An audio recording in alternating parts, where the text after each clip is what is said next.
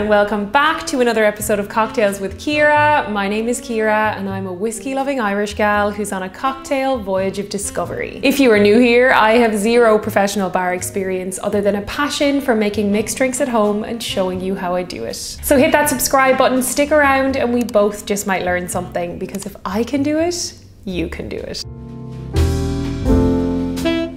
So, keeping in with the theme of the cocktail voyage of discovery, today's cocktail is another one that I have never made before, and it's also one I have never tried before. So, today I am going to be making for the first time an aviation.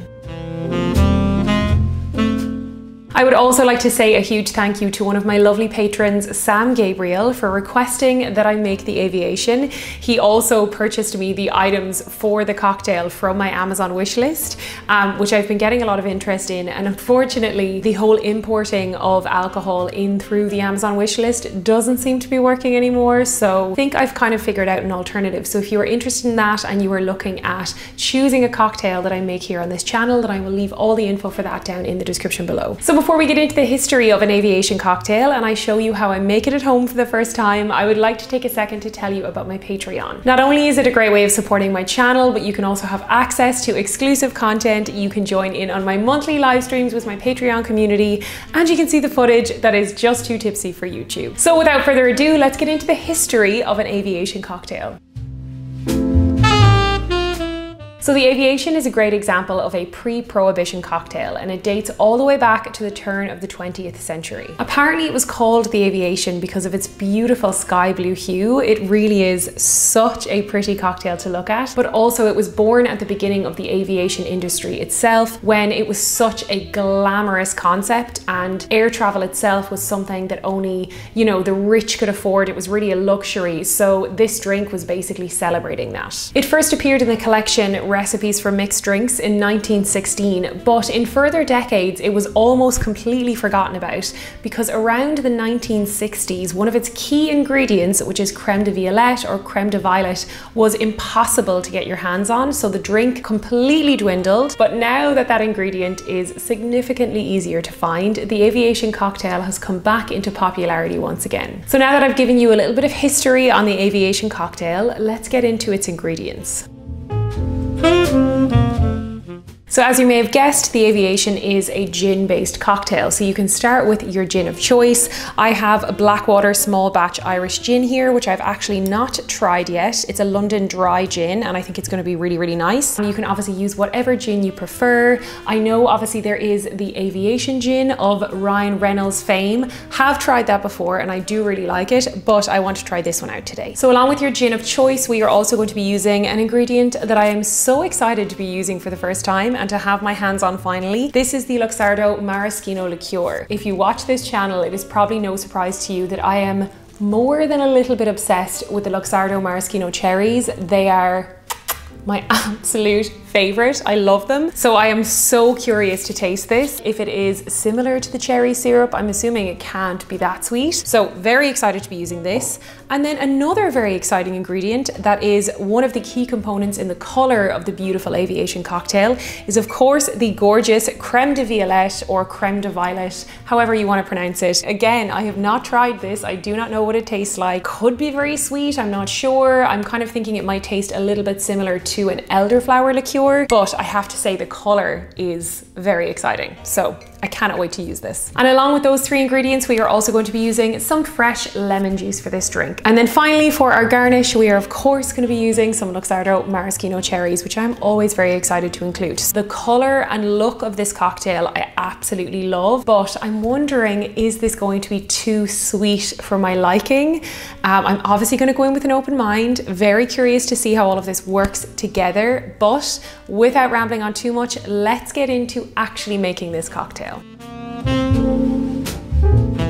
So when you're starting the construction of an aviation, you first must decide if you are going to shake or stir this cocktail. Now I have seen arguments for both. It seems that the color of this drink is at its most beautiful when the cocktail is stirred and you often hear arguments about gin being stirred so as not to bruise the gin. However, because this cocktail does have fresh lemon juice in it, you would assume that you would shake it. So whatever you decide is absolutely fine. We won't get our knickers in a twist about it. If you want to shake it, that's cool. If you want to stir it, that's cool too. Okay, so I've just popped some ice in my mixing glass and we're gonna go ahead and start with our gin. Ooh. But I'm gonna go in with 60 mils straight in on top of our ice. Ooh, started coming out the sides there. So that is roughly 22 mils of fresh lemon juice. Again, I hope not shaking this isn't gonna mess up the lemon juice, but we're just gonna go with it. So now we're gonna go in with the maraschino liqueur, which as I said, I'm very, very excited about. Oh, it has a really interesting smell. I'm just gonna have to try this. It's really interesting. It definitely has a sweet aftertaste, but it's that nice, subtle, deeper sweet. It's exactly what I love about the maraschino cherry syrup, even though that's obviously way sweeter.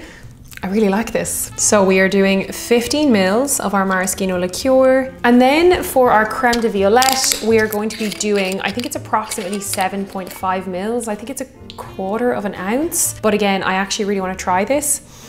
Oh, wow. It smells like perfume. Wow, it's actually really mild and soft and really smooth. It's not at all what I expected. Okay, I'm actually really impressed with that. It's not too sweet at all. So I'm gonna do 7.5 mils.